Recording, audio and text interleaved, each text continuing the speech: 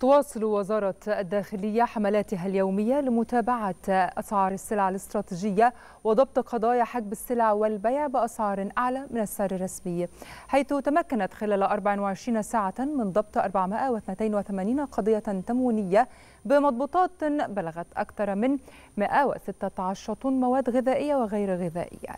ففي مجالي حجب السلع الاستراتيجية والاستيلاء على السلع المدعومة فقد تم ضبط قرابة 63 طنا. كما تم ضبط أكثر من 49 طنا في مجال عدم الإعلان عن الأسعار بقصد البيع بأعلى من السعر الرسمي للسلع الغذائية وغير الغذائية.